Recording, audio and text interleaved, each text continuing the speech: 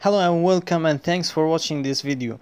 These words are often confused by people learning English.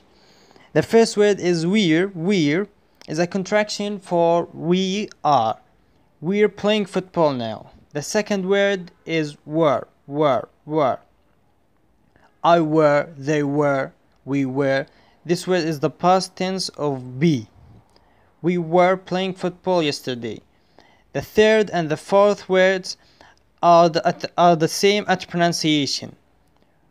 Where are you? Where are you? I wear this suit because I'm going to an occasion. I wear this suit because I'm going to an occasion.